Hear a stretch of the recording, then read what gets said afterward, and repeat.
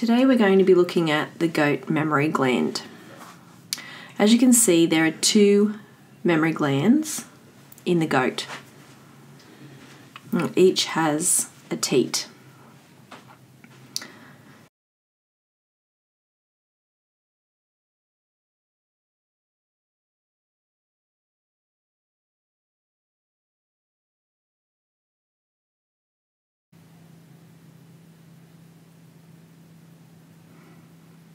And now we're going to dissect part of the mammary gland itself. We'll be able to see the ducts inside, where the myoepithelial and epithelial cells are that produce the milk. You'll also note there'll be a large amount of adipose tissue and other stromal tissue.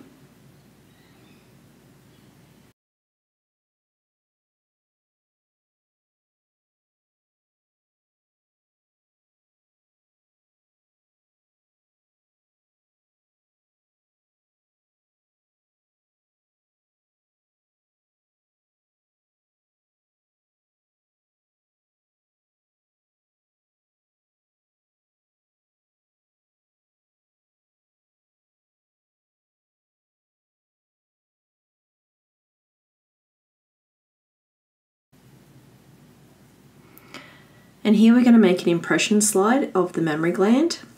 So I'm putting the slide on the tissue itself and I sit it aside and let it dry. Once dry, then we'll stain it using Diff Quik. So we'll first be putting it in the light blue solution, which is a fixative, which ensures that the cells are sticking to the slide.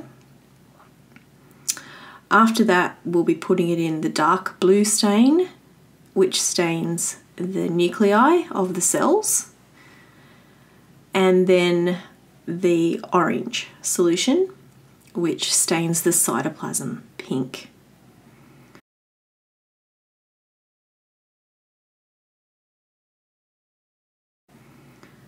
So here we go, just a few dips in the solution give it a drain after we've put it in the fixative. I put it in the, the dark purple solution next. Again, we'll let it drain after we've dipped it in and then straight into the orange stain to stain the cytoplasm.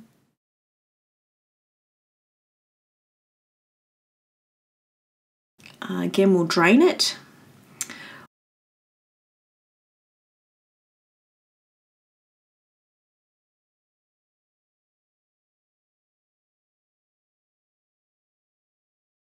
Then rinse it with some tap water again, and then I'll just wipe it dry and we'll be able to look at it under the microscope.